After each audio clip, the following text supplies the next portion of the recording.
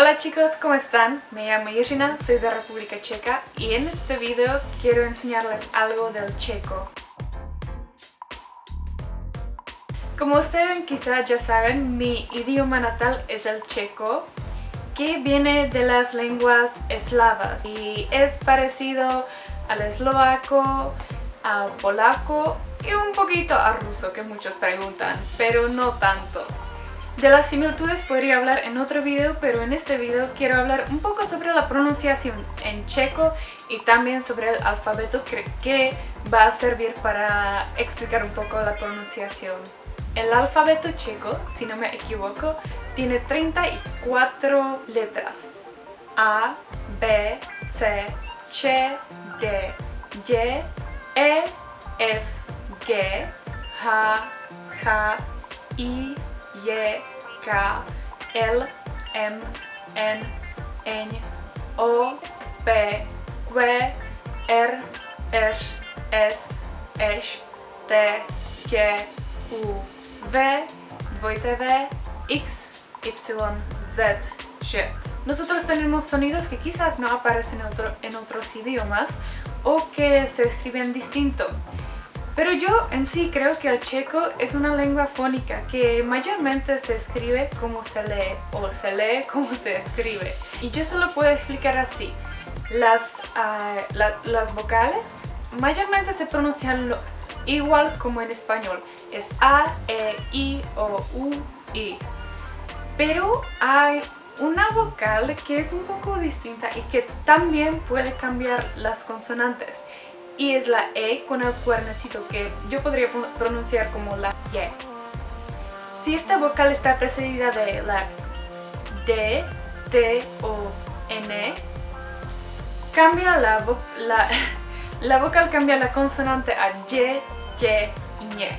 Esto también puede pasar si estas consonantes, la D, la T y la N, están uh, están seguidas con la I latina o como ahora se llama solamente I. Estas también cambian a Yi, Yi y Ni. Las letras que ustedes no conocen de su alfabeto son la Che, Ye, Ja, En, Esh, Esh, Ye y Jet. Vamos a tratar de pronunciar las letras ahora es la C y Che. La Che ustedes conocen del español, es casi lo mismo. La C creo que ustedes no tienen. Es, es como si ustedes ponen la T y C. C. Pruébenlo. Luego la, tenemos la D y Y. Es otra vez como si ustedes hicieron la D un poco más blanda y si la pronuncian un poco más atrás. Entonces la D La J es casi lo mismo como la J en español, solo que nosotros lo escribimos con la C y H y ustedes lo escriben con la J. Es casi el mismo sonido. La R es el sonido más difícil de nuestro idioma. Hasta los niños lo aprenden a sus 6 años más o menos, depende. Es el último sonido que ellos aprenden. La R y R son muy parecidas.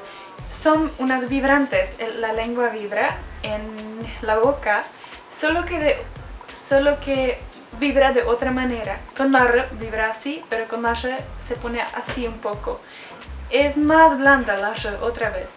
Ustedes pueden probarlo, tienen que vibrar, tienen que tener paciencia y probarlo muchas veces, pero creo que lo van a lograr porque conocí varias personas que lo han aprendido y lo dicen bien. La sh es parecida a la sh argentina, podría decir ya llegó la lluvia. No, eso es terrible.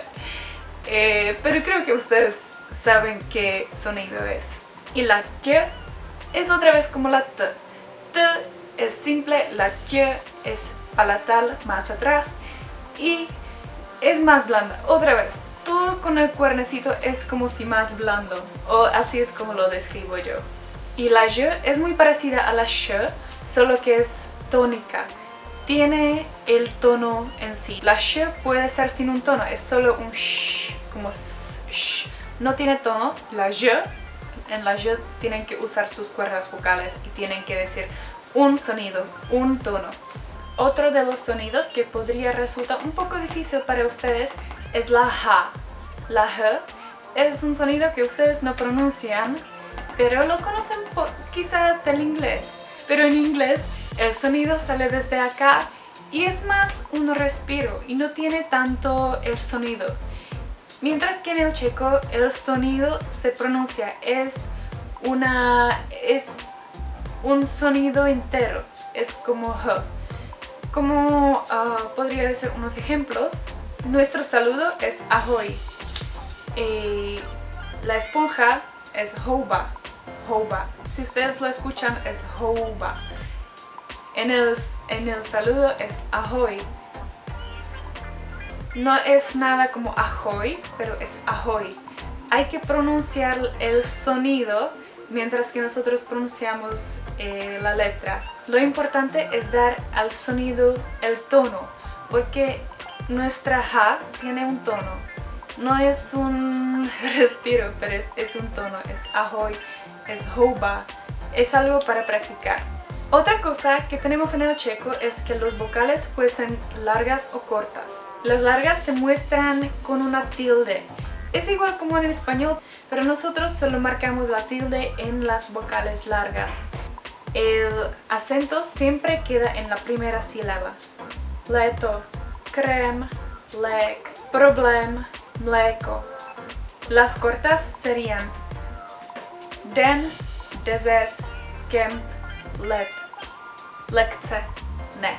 Si añadimos la E con el cuernecito, tendríamos ejemplos como hviezda, no es hviezda, pero hviezda, dělám, no es dělám, pero dělám, věda, štěně, běh.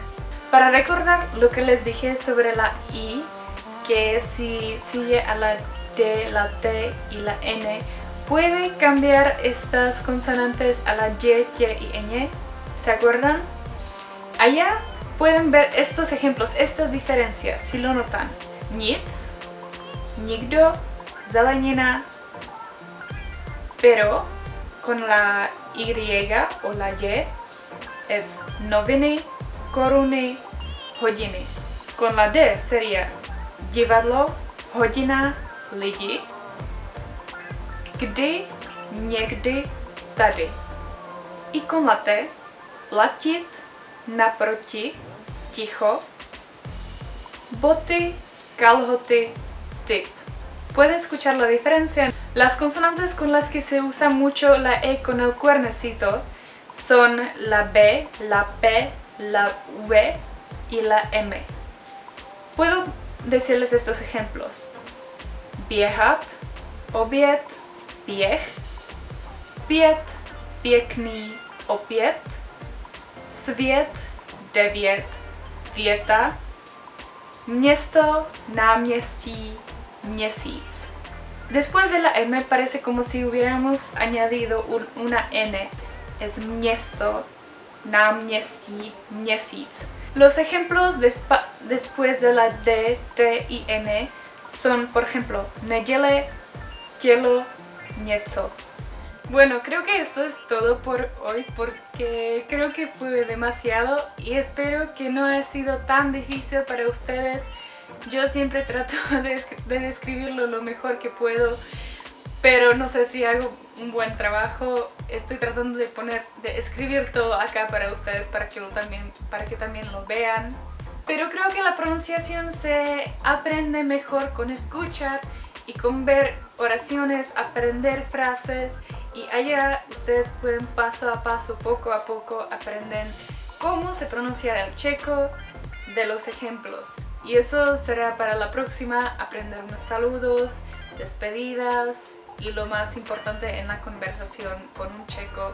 Y si a ustedes les interesa aprender algo más del checo, díganmelo en los comentarios para saber cómo seguir con estos videos, qué es lo que les interesa, qué es lo que quieren aprender y si alguno de ustedes se está animando para venir a República Checa, eso me interesa. Entonces díganme eso en los comentarios y nos vemos pronto. ¡Chao!